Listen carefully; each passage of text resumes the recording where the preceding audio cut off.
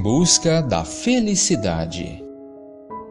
A felicidade é a meta de todas as pessoas. Mas o problema é que a maioria desperdiça sua vida procurando e procurando e quase sempre sem saber onde.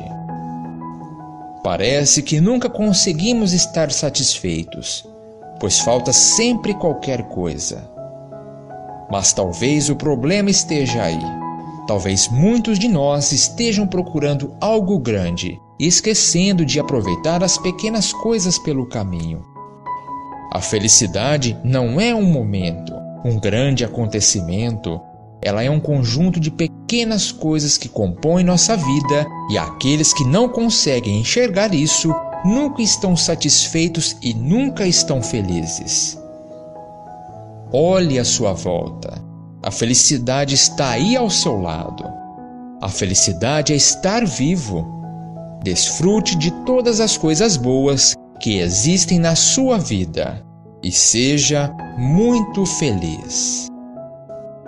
Que você tenha um ótimo dia e fique na paz de Deus.